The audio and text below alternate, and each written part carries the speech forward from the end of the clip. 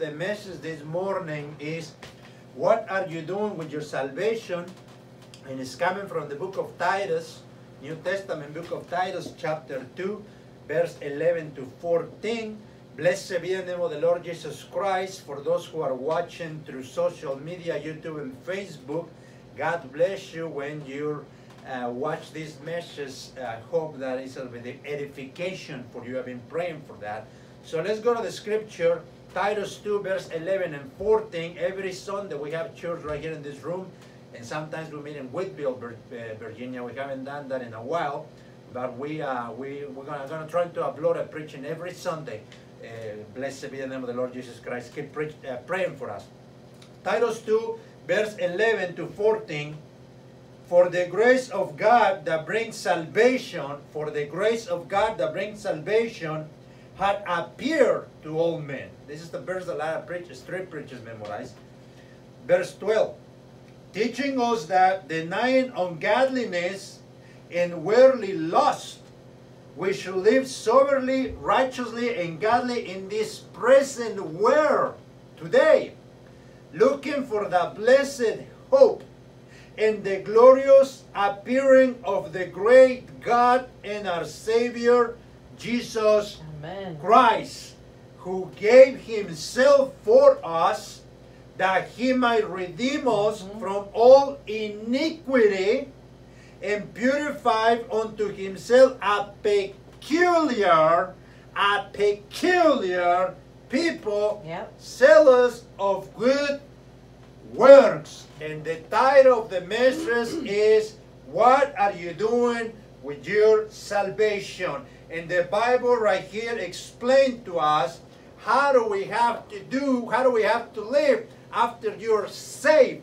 Bible says right here on verse 12, the salvation that is teaching us when you are saved, your salvation is teaching you something. Verse 12 is teaching us that denying ungodliness and worldly lust, we should live soberly, righteously, and godly in this present world. Today, he's talking about today. He's not talking about when you're on your sick bed or, or when uh, when you're about to die and you want to repent of your sins. Yes, repent of your sins, but he's talking about today. He's talking to the saved saints of God. He's not talking to sinners, Paul, right here. He's talking to saints, sanctified, saved, uh, uh, uh, Christians are supposed to be a peculiar people, a different, a distinction from the ungodly Yes. and the godly. That's what he's saying right here. When you are saved, your salvation is going to teach you these three things that you have to deny ungodliness, you have to deny worldly lust, and you should live soberly and righteous lives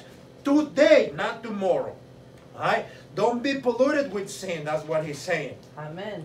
And if you start and, and don't be polluted with sin, denying ungodliness, denying sick, sin, wickedness, and do not disobey the commandments of God. That's the first thing that Paul addressed right there. And number two, he says, worldly lust. And if you go to the KJV dictionary, it says that worldly lust is passions for obtaining the good things of this life. How many people do you know they're in such rush? They're in such not they don't want anything in their way. They wanna enjoy the passions of this life. What are those passions, preacher? Passions of having a diploma hanging from their wall wall that says this is a doctor in this, a doctor in that, or he has another degree of this and another degree of that, or the passions of the world that come through sports. How long, how many people are passion for football? How many people are passion for baseball, passion for NBA uh, uh, games? And those are the passions of this world. And the Apostle Paul is telling Tito, Titus right here, don't worry about the passions of this world because they're temporary, tempor- temporal enjoyment. How long is the football season last? Four months? Six months? That's your enjoyment? How long is the basketball season lasts Four months, six months, and that is the temporal enjoyment. People is attached to the games. They go to the stadiums. They're attached to the TV, watching this uh, temporary loss, this worldly loss. Alright, and say stop. There's people who run and run this way to create a business, to create this empire, and, and they, they don't want nothing to do with God. We have others who trying to go to the moon like NASA. They spend billions and billions of dollars in trying to go to the moon and trying to go out of space and do this and do that and things that have really no meaning because where you have to go is to the third heaven, not to the moon, not to Mars, but to the third heaven. And how can you get there? You don't need a rocket, a, a special suit. You don't need a, a, a, millions and millions of dollars spending a rocket ship. You need the salvation that comes to all, to all through grace through Jesus Christ. All right? Set your mind on things of above, the Apostle Paul is saying, and not the things of this world, Colossians 3 2. All right? And then he goes on to say, another thing that salvation teach you, if, if for you uh, that call yourself Christians, and you're still living according to the world, and you're still after running after after the temporary things of this world that bring you enjoyment, enjoyment, running after the passions of this world. You know what? Another passion of this world is the elections. People is running with this temporary. How long is, is the enjoyment of your next president is going to last? Four years? Four years? And your enjoyment is gone. You run like a dog from this rally to another rally. Oh, this, my candidate is going to be in Charlotte, and my candidate is going to be here. I'm going to run after him, and I'm going to make sure that everybody votes for the Republicans, and I'm going to make sure that everybody votes for the Democrats. Why don't you worry that everybody makes it into the kingdom of heaven? Preach. Huh? But you're running after these passions of this world that have no meaning. No meaning. The law of the Lord is perfect, Bible says. And it says, Apostle, Apostle Paul says again, live sober. Live sober means don't be a drunk. Don't be a drunk. Don't be hooked on, on, on heroin. Don't be hooked on cocaine. Don't be hooked on marijuana. Now it's not that, that that's being a sober. Being a sober is not being uh, participating in any of those things. But how many Christians today you know they're hooked on CVS? CVS is their drug dealer. They need to have one pill for this and another pill for that and another pill for that. They're addicted to so many narcotics. Are you already a Christian? Why you need so many narcotics? Huh? Living sober means to live without excess. To don't, don't be don't don't make things to have so many of one thing. How many people you know they have a lot of clothes? They have the closet full of clothes that they don't even use. Ladies, how many ladies they have shoes? How many shoes do they have? They have to have a red shoe, a yellow shoe, a high heel shoe, and this shoe for this dress, and this shoe for that skirt. I don't know. I know how many shoes my wife owns. It's like maybe two or three at the most. The closet is not full of shoes. But there's Christian ladies out there who have the closet full of shoes. Huh? Full of clothes. And there's guys who have cars go every two years they go to the dealer and they switch the car for another car and they keep getting more and more in debt every single year because they have to have another car excess excess there's a guy who collects dvds is close to have 600 DVDs. Why do you want so many DVDs to begin with? Living in excess. Why do you want to have association with Hollywood and garbage? Huh? There's people who own so many credit cards. They have credit cards, Home Depot credit card, Lowe's credit cards, JCPenney eh, credit card, and to go get underwear, they need a credit card too. Huh? They cannot even buy underwear without a credit card anymore. And the Bible says, living sober, living sober. Huh? There's a lot of people who goes to the salon, to the beauty salon, and this goes for guys and for ladies. And I'm not talking about homosexuals, bishops of conference that they go to the salon to get manicures. Mm -hmm. Huh? And we have the ladies in the church who are tired to have their, their, their hair white and they do it they do it black. And three months later, now they're blonde. And when Christmas comes around, now they want their hair red or they want it green. Huh? Why do you want to go to the beauty salon in excess? How much money do you spend in the beauty salon? Can you imagine Mary the mother of Jesus Christ saying, well, I'm getting ready to give birth to, the, to, the, to, to, to Jesus Christ. Let me go to the salon and do my hair. Can you imagine Ruth going to the salon? Can you imagine the daughters of Zelophehad going to Moses and say, we need you to give us an inheritance? They did not went to the beauty salon before they went to Moses. They did not do that. The women of, of, of the Bible, they did not. There was no salons in, in, in, in the Bible times. And there was no need for these women. The one who went to the beauty salon was Jezebel. There we go. She's the one who painted her hair and painted her face every single time. And then we have, Bible says don't live with excess. And then we have these women's, Christian women's. Today you will see them. In, they get before the mirror 30, 40 minutes. They do their makeup, their lipstick and everything. Just to get on Facebook and do a selfie. And, and not, it's not enough that they do the selfie of themselves. They go to their bedrooms. And from their bed, they're taking selfies of themselves for all the guys out there to see a woman in her bed, a Christian woman in her bed taking selfies. I got a scripture for you. If you're a Christian woman who are taking selfies of yourself in your bedroom, shame on you. I have a scripture for you, Hebrews 13, 4. Marriage is honorable in all, and the bed is undefiled. You're supposed to keep the bed pure. How does your husband feel when you post posting pictures of yourself from your bedroom? You're not keeping the bed pure. You undefiled, on the file the bed. The Bible says, by whores and commongers, God will judge. What are you looking for? Posting pictures of yourself from your bedroom. What is your intention? What are you trying to do with that picture? Huh? You have no business posting pictures of yourself in your bed, in your bedroom, on Facebook if you call yourself a Christian. Of course, but if you're not saved, you can do whatever you want.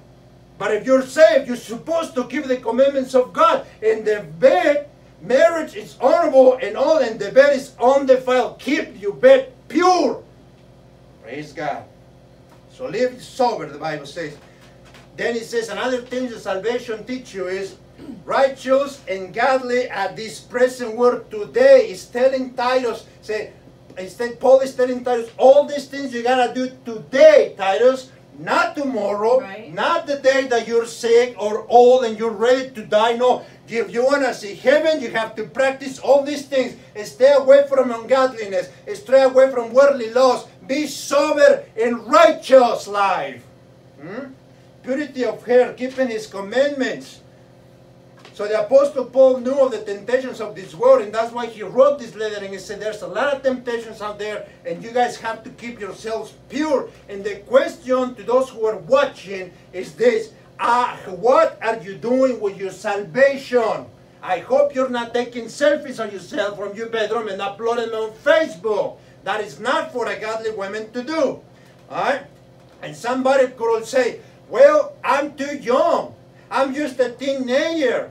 I have never done the sins of my father. You know, my daughter could say, I have never put a beer in my mouth. I have never smoked. I have never been out there fornicating. Because she's a young lady that we, we train in the ways of the Lord, and she has not done any of those things. You know, and somebody else could say, Well, I'm very young too. I have not tried marijuana. I have not tried beer. I have not tried, I have not done the sins that you've done, Edgar. What do I do with my salvation? Let's look at the Bible. Let's look at what young children, young teenagers, young ladies, and young men did with the salvation, their salvation in the Bible. Let's go to 1 Samuel chapter 3, verse 1, and you know the scripture and you know the story. Yeah. First Samuel chapter 1, verse, uh, First Samuel chapter 3, verse 1. This is what it says.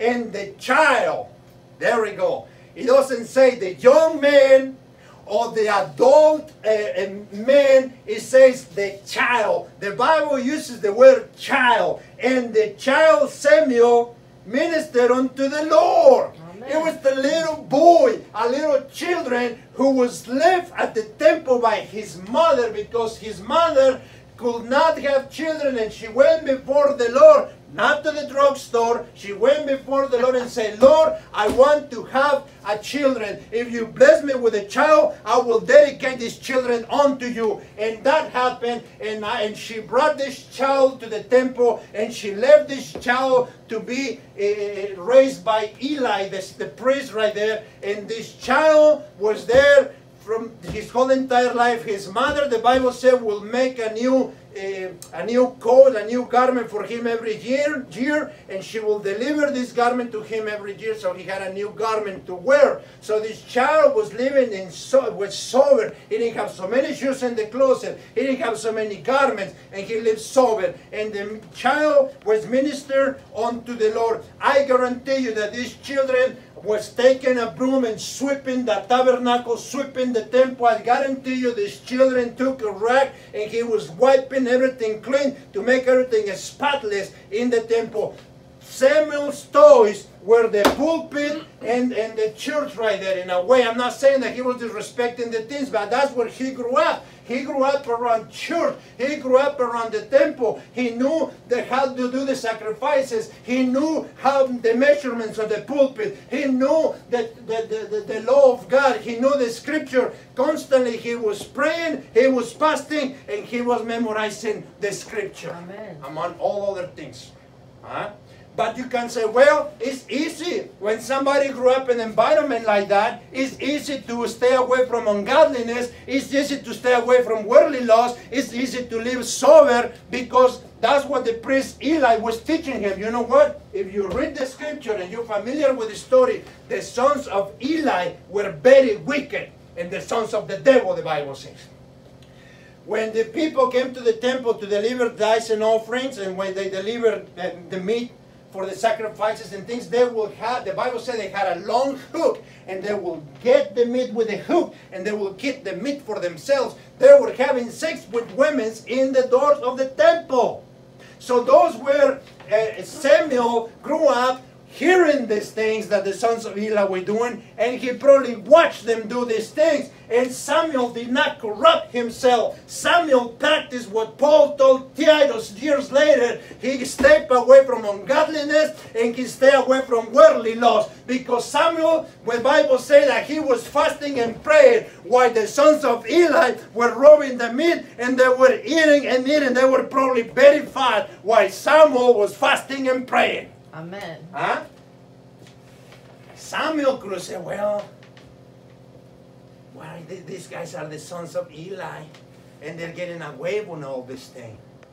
But I'm gonna serve the Lord. He probably remembered the words of Joshua and said, but I'm gonna serve the Lord. I don't know what Lord they're serving. I don't know what they're doing. But my mother led me here. My mother dedicated me unto the Lord, and I'm going to serve the Lord. That's what I'm gonna do with my salvation. I will serve the Lord. Praise God. Huh? I will serve the Lord. And Samuel did not contaminate himself. He, he, he denied ungodliness, he denied worldly laws, and he li- lived a sober and righteous life today. Two, two books in the Bible are named after him. Two books in the Bible are named after him. Huh? So, if you're in high school and you have friends like the son of Eli who come to you with pornography and say, hey, look here, watch this. Hey, smoke this, it's gonna make you feel good. Hey, uh, uh, there's a little, we're gonna have a party, we're gonna have some beer. Come, come, and hey, why don't we go steal? Why don't we cheat on the exam? Why don't we steal the exam from the teacher and rob the answers and, and have the answers? You know what? You gotta do what Samuel did. You gotta continue living holy, stay away from ungodliness, stay away from worldly lust. Or you might have a friend that is ungodly, and not saved, and is trying to tell you, hey, listen to this music, listen to this pop music. Hey, you know what I'm doing? I'm gonna go to the salon and I'm gonna do this. And you know what my other friends say and, and do? Let's do this too. You know what? You're gonna continue living godly and righteous life if you have those kind of friends because Samuel was not friends with the son of Eli, but they live in the same house. And he stay away from that. And you say, well, that was a boy. All right, let's go to Numbers 27. We have the example of not one young lady, Mhm. but five. Yes. Five ladies, the, the daughters Girls. of Zelophehad. Numbers 27, I cannot pronounce it very good, but it's right there. The daughters of Zelophehad. The daughters of Zelophehad. It was five young ladies who kept themselves pure, and her father died.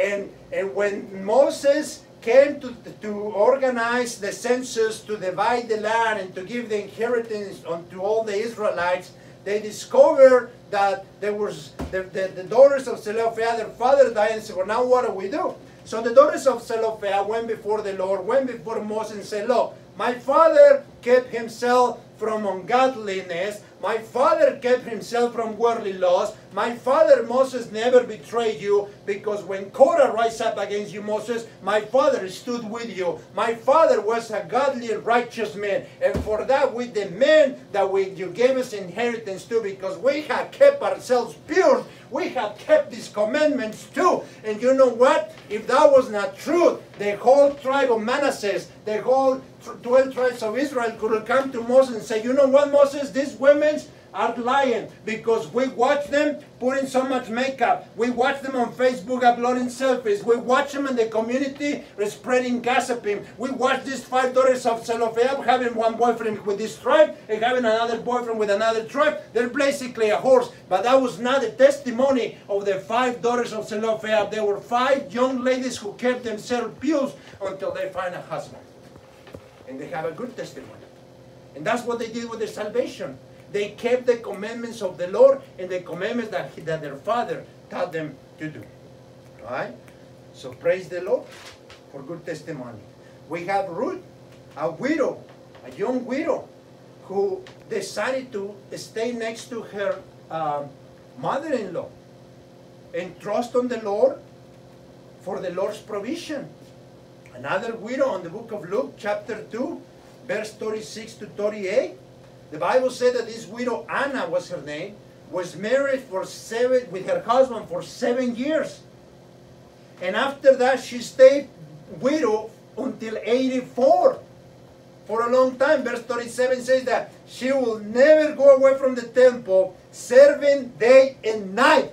Mm. Serving day and night with fasting and prayer and telling everyone about the Lord Jesus Christ. That's what these women did with her salvation. Now tell me this, how many widows, how many Christians widows you, you know today? Ask yourself this question. What so and so and so that is a widow is doing with her salvation? And that goes for women and for guys who are widows. What are you doing with your salvation? You have the example of the Bible of one woman who decides to serve the Lord day and night, but fasting and praying and preaching the goodness of the Lord. What are you doing with your salvation? Right? The women at the well. After she spoke with Jesus Christ, and Jesus Christ told her, What is your husband? Oh, I don't have one. That's right. Because you've been with five. And they're not your husbands. And after Jesus Christ continued preaching to these women, this woman runs back to the town and she started preaching to the whole entire town. What are you doing with your salvation? After you have a conversation with you, some of you claim that you talk to God. And what are you doing with that? Now we go to the book of Mark chapter 5 and you have the young, the man who was full of demons, the man possessed with a legion of demons. Mm-hmm. And Jesus Christ comes and casts out the devils into the swines, and the devils run after the pigs, and they go and, and, and, and, into the deep. And later you see what this man did with his salvation. Book of Mark, chapter 5. Let's go there real quick. Book of Mark, chapter 5. Bible says that he was violent. They would tie him up with chains or something like that. He will break the chains he had so much power. He was running around naked. And people was trying to go around him because they didn't want to be they didn't want to encounter him.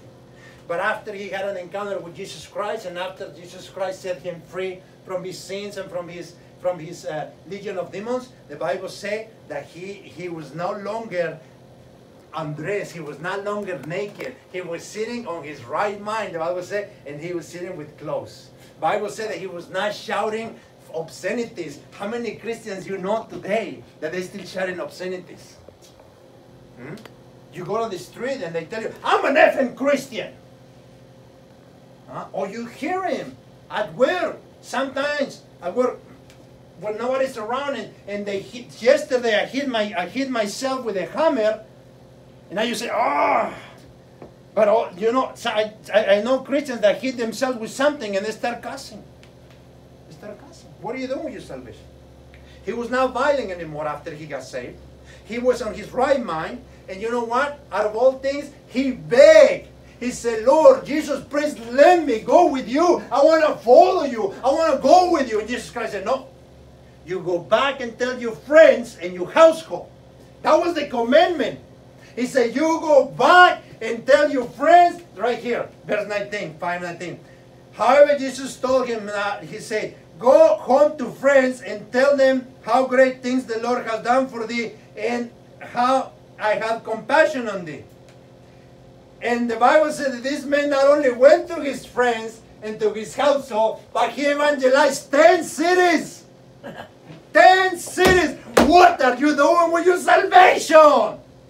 The Lord Jesus Christ cast out the devils out of you, and you haven't even told your grandmother or your mother-in-law that you're saved. You don't tell anybody that you're saved. You're ashamed of the gospel. And Paul said, I'm not ashamed of the gospel. Some of you don't even pray for your food like I was telling you the other day. Alright? He evangelized 10 cities. What are you doing with your salvation? Zacchaeus, a wee little man. When he got saved, that's what the song says, right? Zacchaeus, a wee little man. Praise God.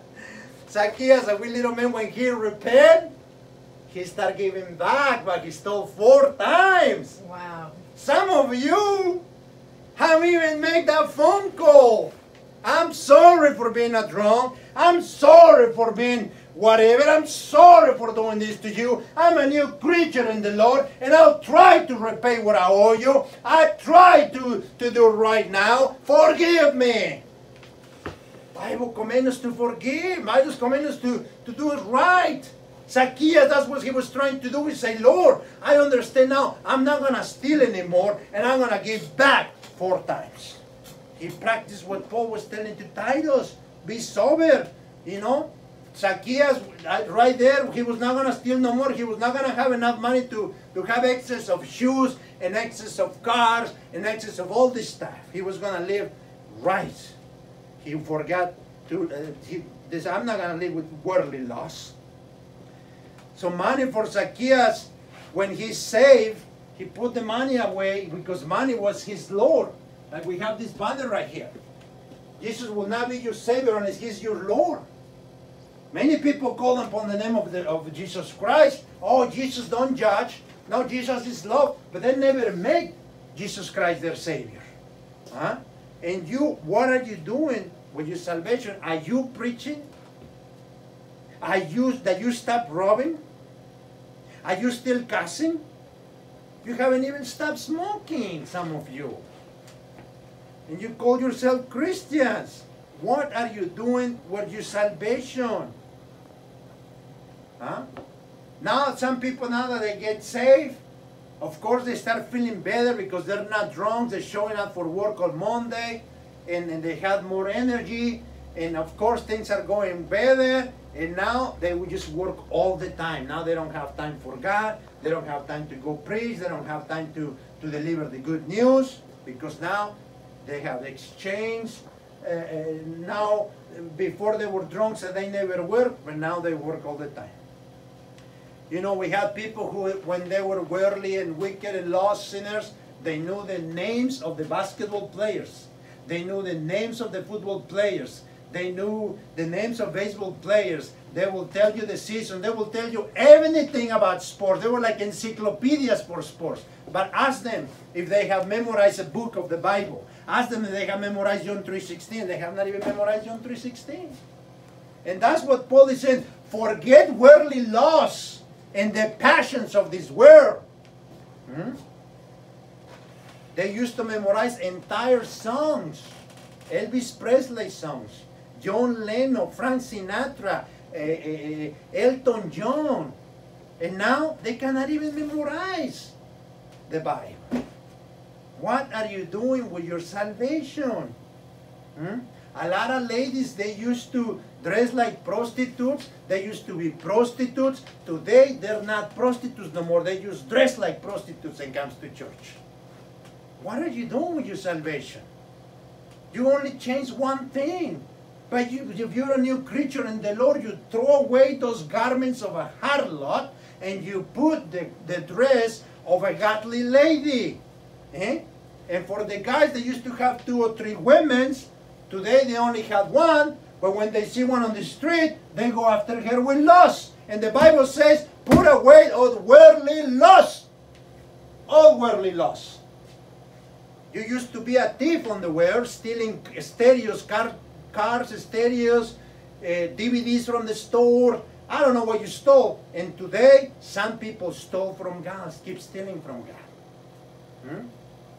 Some people that used to uh, pray God, now they praise Trump. What are you doing with your salvation? Huh? That is the question this morning. What are you doing with your salvation? Because the Bible right here says, For the grace of God that bringeth salvation had appeared to all men, teaching us. Yes. Salvation teach you to deny ungodliness and worldly laws. We shall live soberly, righteously, godly in this present world, looking for the blessed hope, Jesus Christ. Verse 14, who gave himself for us, that he might redeem us from all iniquity and purify unto himself a peculiar people, zealous of good works. Is that what you do with your salvation? Are you a peculiar people? Do you have good works on your life? Can people say that about you?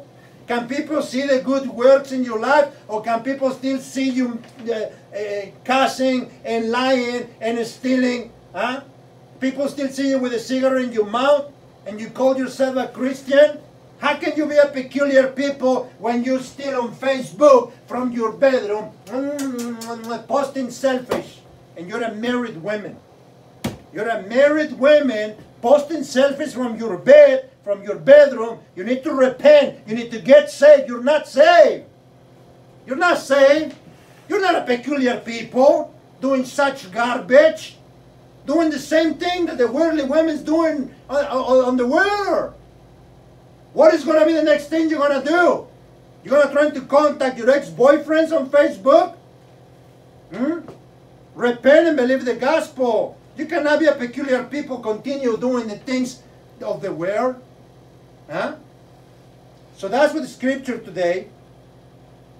That's the message today. What are you doing with your salvation? And the Bible right here says, salvation teaches us that denying ungodliness, worldly loss, that we should live soberly, righteously, and godly in this present world.